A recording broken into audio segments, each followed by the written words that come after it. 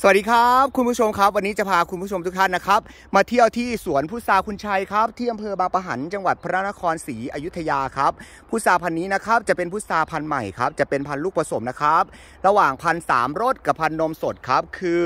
ลูกจะโตเหมือนนมสดนะครับ แล้วก็รสชาติจะหวานกรอบอร่อยเหมือนสามรสนะครับรสชาติจะไม่จืดเหมือนพันนมสดครับที่สำคัญคือติดลูกดกมากครับคุณผู้ชมครับ และปลูกง่ายมากครับนี่ปลูก 6 เดือน 7 เดือนลูกจะออกเต็มต้นพร้อมเก็บขายแบบนี้ได้เลยนะฮะ นี่คือลูกดกมากครับ แปลงนี้ผมปลูกอยู่ 20 ไร่นะครับ พุทรา2,000 กว่าต้นครับคุณผู้ชมครับ ปลูกแล้ว 7 ปีนะครับ แต่ว่าปลูกแค่ 6 เดือน 7 เดือนก็เก็บขายได้แล้วนะครับนะ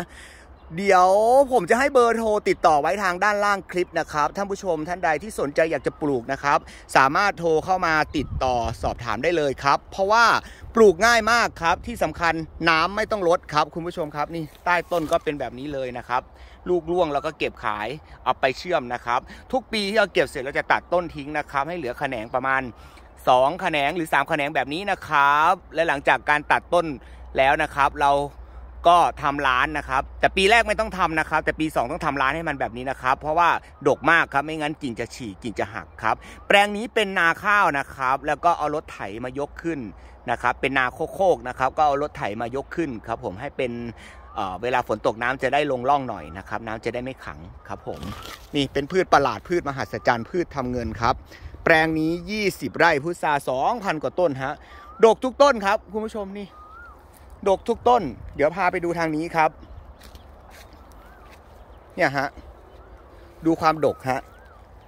ติดลูกทุกป้องทุกขาแหนงเลยครับนี่ดกอย่างนี้เลยครับ ดกแบบนี้เลยครับ ท่านใดที่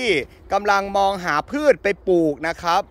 ในสวนเอ๊ะคิดว่าจะปลูกอะไรดีแนะนำเลยครับพุทราพันธุ์ใหม่ครับเพราะว่าปลูก 6 เดือน 7 เดือนได้เก็บลูกขายเลยครับถ้าเป็นมะพร้าวมะม่วงนะครับก็ต้องรอ 4 ปี 5 ปีนะครับกว่าจะได้ขายนะฮะแต่อันนี้หลังจากปลูกนะครับ6เดือน 7 เดือนเก็บขายเลยครับและที่สำคัญขายดีมากฮะที่สวนตอนนี้ก็เก็บวันละ 800 900 กิโลบางวันตันกว่าครับนี่ให้ดูกิ่งนี้ครับ ให้ดูกิ่งนี้ครับ นี่แบบนี้เลยฮะดกมากครับ อย่างนี้เลยครับผมครับ อย่างนี้เลยครับ ดกมากครับผม ดกทุกต้นครับ นี่แปลงนี้ยี่สิบไร่ฮะ แต่ว่านี่แปลงนี้ปลูกมาเจ็ดปีแล้วนะครับ แปลงนี้ปลูกมาเจ็ดปีแล้วครับ ทุกปีที่เราเก็บเสร็จเราก็จะตัดต้นทิ้งนะครับ ให้แตกแขนงขึ้นมาใหม่ครับ แบบนี้ครับ แล้วก็มีแปลงหนึ่งผมปลูกใหม่แปลงนั้นเจ็ดไร่นะครับ เดี๋ยวจะอัปเดตคลิปวิดีโอให้ชมครับ แปลงนั้นก็ดกเหมือนกันครับ แปลงนั้นปลูกเสร็จน้ำท่วมเลยนะครับ แต่พอน้ำลดปุ๊บ ลูกก็ออกเต็มต้นเก็บขายเลยนะครับ คุณผู้ชมนี่ ปุ๋ยเปยไม่ได้ใส่นะฮะปุ๋ยเปยไม่ได้ใส่ครับผมเนี่ยแรงก็แรงครับผม เราจะเก็บอันนี้เก็บตั้งแต่ช่วงเดือนตุลาแล้วนะครับ ก็จะเก็บไปจนถึงนู่นแหละฮะต้นเดือนเมษาปีหน้านู่นแหละครับ ได้เงินทุกวันครับผมได้เงินทุกวันลูกออกเต็มต้นเลยเดี๋ยวคุณผู้ชมจะไม่เชื่อว่าปุ๋ยไม่ได้ใส่ดูตรงโคนต้นก็ได้ครับนี่นี่ครับรอยรดน้ำก็ไม่มีรอยใส่ปุ๋ยก็ไม่มีแบบนี้เลยครับ ดินก็แตก แห้งๆแบบนี้แหละฮะ แต่ลูกเนี่ยออกเต็มต้นครับ พืชประหลาดพืชมหัศจรรย์พืชหลบสายตาคนดูความดกฮะแบบนี้เลยครับ เงินทุกบาททั้งนั้นเลยฮะ เงินทั้งนั้นเลยครับ ห้อยระยงระยางอยู่แบบนี้คุณผู้ชมครับ คือดกจริงนะฮะและที่สำคัญคือลูกโตฮะ หวานกรอบนี่ครับเขียวๆแบบนี้เขียวอมเหลืองแบบนี้ก็ทานได้แล้วนะฮะ แต่พันธุ์อื่นกินไม่ได้นะครับ แบบนี้จะฝาดติดลิ้นมาก แต่พันธุ์นี้จะหวานกรอบอร่อยฮะ ไม่มีรสชาติฝาดเลย แต่ถ้าแช่เย็นก็จะอร่อยมากคุณผู้ชม อยากให้เชิญ อยากเชิญมาเที่ยวครับ นี่อยากชวนมาเที่ยวครับ มาสวนกินฟรีนะครับ มาช่วยเก็บก็ได้ ครับผมที่นี่จ้างเก็บนะฮะกิโลละห้าบาท เพราะมันเยอะครับ เก็บวันนึงก็เป็นตันๆนะครับ เพราะมันเยอะมากนี่ฮะดกมาก ดกทุกกิ่งทุกก้านทุกแขนงเลยครับ เข้าไปข้างในนู่นนะฮะนู่นนู่นยี่สิบไร่คุณผู้ชมครับ เดินทั้งวันก็ไม่ทั่วนะครับ เดี๋ยวพาดูด้านในบ้าง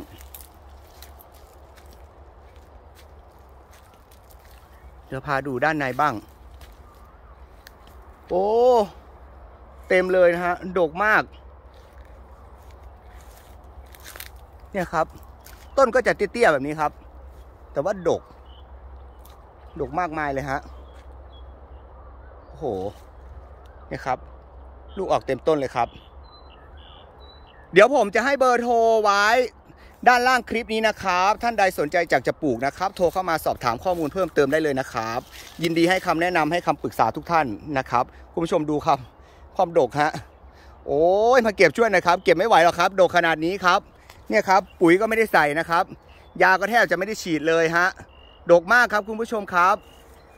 เดี๋ยวจะมาอัปเดตให้ชมใหม่นะครับ ขอบคุณครับ